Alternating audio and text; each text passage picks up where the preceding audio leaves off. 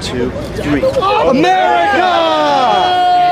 We're hearing guilty on one through five. This man's life is a Greek tragedy. Was he a bad boy here? Was he a bad boy there? One through 12, we have now 13, 14 guilty. Hillary deleted 33,000 emails. Hillary Clinton, I didn't say lock up. We're up to 18 counts, 19 guilty. American people need to wake, wake up. You know, this is a war. This is a literal war. We have a banana republic. I guess we all need what to shop at Banana Republic. We are now 24 counts in, all guilty. Every facet of Republican Party politics and power has to be used right now to go toe to toe with Marxism and beat these communists. Up to 26 guilty. It won't be Hunter Biden the next time.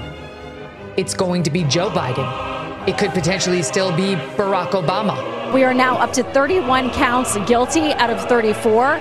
32 guilty. We now have Soros elected DAs who go after people, not crime. We must stop these animals. People are sick and tired of a feckless, useless Republican Party that never does a damn thing to stop any of this. They're saying guilty on all 34 charges. The person that comes up out on top, though, in my mind, without a doubt, is President Trump. We have President Donald Trump who is now a political prisoner and a martyr against the regime. Every signatory of the Declaration of Independence is a felon. Is it a good idea for the Republican Party to nominate a convicted felon? The answer is 100% yes. There is no way that the American people are going to vote for a convicted criminal. They're not. Do you think she's wrong? Uh, yeah, apparently. Apparently, we were both wrong on that one. Let's say Trump is behind bars, and again, it is a possibility.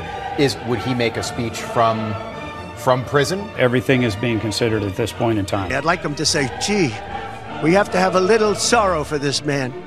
Because they don't they just don't say that about me. I locked him up! I locked him up! I locked him up!